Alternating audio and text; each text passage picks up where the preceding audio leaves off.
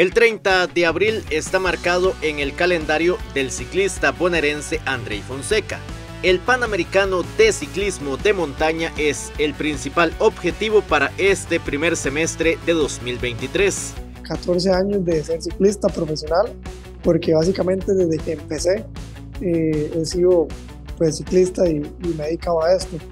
Este año es un año muy importante para mí porque en el mes de abril es la competencia más importante para mí es la competencia, eh, yo creo que una de las más importantes de mi, de mi vida, porque eh, va a ser el Campeonato Panamericano el 30 de abril en, en Brasil. Este Panamericano es clasificatorio a Juegos Olímpicos. La preparación para este Panamericano que se realizará en Brasil comenzó desde finales del año pasado. La Vuelta a Costa Rica la hicimos pensando en que teníamos que, que coger un buen ritmo para iniciar el año de la mejor manera.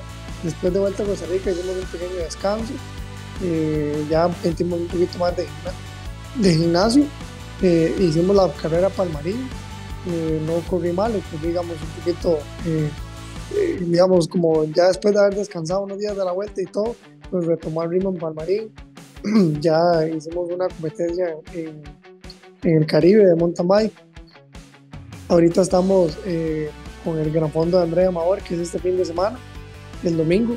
Esto es una, una carrera importante para mí porque ahí ya vamos a, creo que ya volvería a estar un poquito más en forma.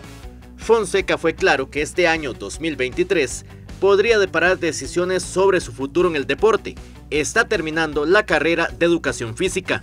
Una vez que se acaba la competencia, eh, depende no del resultado que, que, tenga por número o posición, sino por el resultado a nivel personal.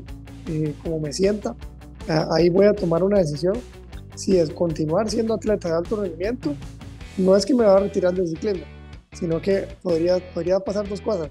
Eh, podría continuar como atleta de alto rendimiento, buscando estar en, los, en, las competencias del ciclo olímpico, que son Juegos Centroamericanos, Juegos Centroamericanos del Caribe, Juegos Panamericanos, y buscar una siguiente clasificación a Juegos Olímpicos. Eh, y, y, lo otro que podría pasar es que pase el ciclismo o el deporte a segundo plano y ya le dé un cambio a mi vida donde ya empieza un poco más al tema de trabajar en lo que he estudiado eh, y otros proyectos personales que tengo, continuar con la fundación. El pedalista, que estuvo en los Juegos Olímpicos de Río en 2016, vive orgulloso de sus raíces en Buenos Aires de Punta Arenas. Ahí donde están mis amigos, ahí fue donde inclusive yo nací en Buenos Aires.